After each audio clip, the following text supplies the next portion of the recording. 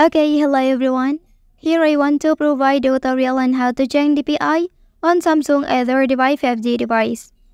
Well, changing the DPI allows you to adjust the density of content displayed on your screen. Increasing the DPI makes content appear smaller, while decreasing it makes content appear larger.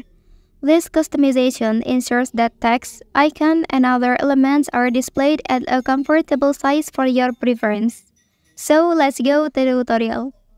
Okay, first of all, you can visit the settings menu.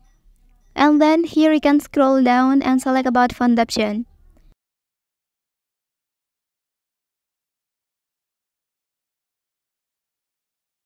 Okay, after that select the software information and you can tap on the build number up 7 times. If so, here you can exit and scroll to the bottom and select developer options.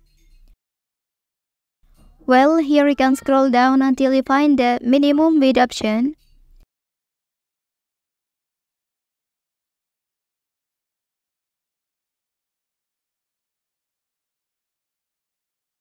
and then here you can change the DPI of your device as needed.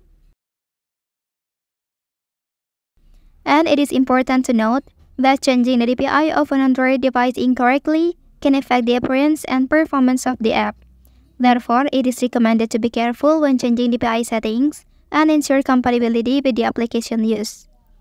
Well, that's the tutorial on how to change DPI on Samsung A35 5G device. If you are helped by this video, don't forget to like and subscribe to get other information from this channel. Thank you.